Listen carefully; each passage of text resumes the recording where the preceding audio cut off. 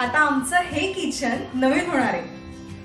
अहो कारण आम्ही ललित रुंठा ग्रुपच्या नवीन फ्लॅटमध्ये शिफ्ट होतोय ना?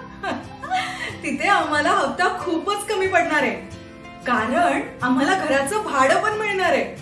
Thank you so much Lalit Runtha group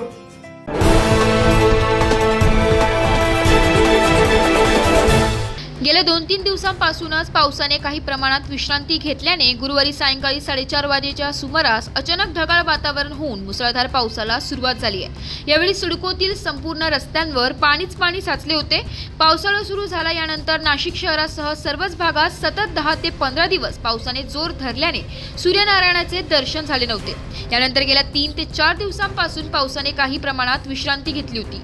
भाजी बाजारासह सर्वच पथविक्रेत्यांनी नेहमीप्रमाणे रस्त्यांवर ठाण मांडल्याने सुरळीत व्यवहार सुरू होता. गुरुवारी सायंकाळी चार वाजेनंतर अचानक ढगाळ वातावरण झाले व काही मिनिटातच मुसळधार पावसाला सुरुवात झाल्याने सिडकोतील अंबड पवननगर उत्तमनगर त्रिमूर्ती चौक पाथर्डी फाटा यासह अनेक परिसरात सर्वत्र रस्त्यांवर पाणीच पाणी साचले होते. अचानक मुसळधार पाऊस आल्याने भाजी बाजारात तसेच रस्त्यावरील फळ विक्रेते व पथविक्रेत्यांची मोठ्या प्रमाणात तारांबळ उडाली. रस्त्याने ये जा करणाऱ्या अनेक नागरिकांनी झाडाचा आडोसा घेतलेला दिसून आलाय. विशेष म्हणजे पंधरा ते वीस मिनिटातच सर्वत्र रस्त्यांवर पाणीच पाणी साचल्याने पावसाळी गटारही होताना दिसून आली आहे. औद्योगिक वसाहतीत मोठ्या प्रमाणात पाणी साचल्याने सायंकाळी पाच वाजेनंतर कंपनीतून बाहेर पडणाऱ्या कामगार वर्गाला विविध अडचणींना सामना करावा लागलाय. नाईन न्यूज महाराष्ट्रासाठी प्रतिनिधी नितीन चव्हाण नाशिक.